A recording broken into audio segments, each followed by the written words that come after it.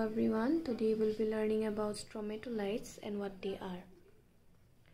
First, coming to the definition of stromatolites, they are layered accretionary structures formed in shallow water by trapping, binding, and cementation of sedimentary grains by microorganisms, especially cyanobacteria, commonly known as blue-green algae.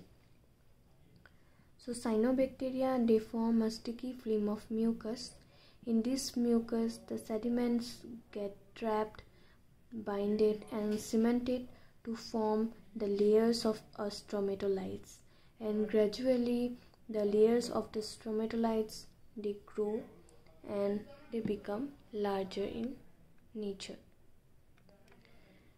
Next coming to the age of stromatolite so around 3.5 billion years ago the stromatolites they they dominated source around the world. And thus they provide some of the most ancient records of life on earth by fossil remains which date back more than 3.5 billion years. These are few micro images of cyanobacteria or blue-green algae. They are elongated in nature. The form and structure of algae sets them apart from plants. Although algae and plant both contain chlorophyll and photosynthesize, algae do not have a actual root system leaves or plants unlike sorry root system stem or leaves unlike the plants. Thus they are the most simplest form of plants. So in all the pictures previously we, that we have seen in this presentation we have seen that the stromatolites are domal shaped so in order to capture as much sunlight as possible the shape of the top of the structure tended to be curved. So here we can see the top part is curved so that there was maximum exposure to the sun. Okay. Also if we take a cross section of the stromatolites we will find these internal layers which will be parallel and bowed towards the top because the round uh, surface of the stromatolites was oriented towards the sun. Now, coming to the importance of stromatolites. Stromatolites photosynthesize, they use the sun's energy to make food. As the stromatolites absorb sunlight, they are able to break the chemical bonds in water releasing oxygen. At first, this free oxygen reacted with the iron rich water to create iron oxides, which form the bands of iron ore that is mined today.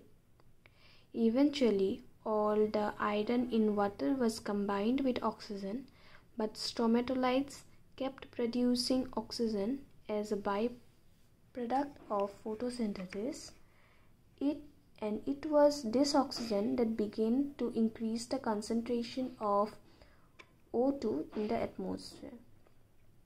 This led to the great oxygenation event which increased the level of atmospheric oxygen producing ozone layer helping to protect the earth from harmful cosmic rays. The increased oxygen permitted more biological diversification and speeded up the radiation of eukaryotes and evolution of multicellular life forms. In short, all we can say is that stromatolites were the early plants which helped to increase the concentration of oxygen in the atmosphere. So they played a major role in the great oxygenation event which led to the evolution of multicellular life forms. Lastly, here we have a picture of modern stromatolites which are mostly found in hypersaline lakes and marine lagoons where there are extreme conditions due to high saline levels and prevent animal grazing. As they prevent animal grazing, though so the stromatolites can survive there. And one such excellent modern specimen or one such location is found in Hamelin Pool Marine Nature Reserve, Shark Bay in Western Australia. That's all for this presentation. Thank you.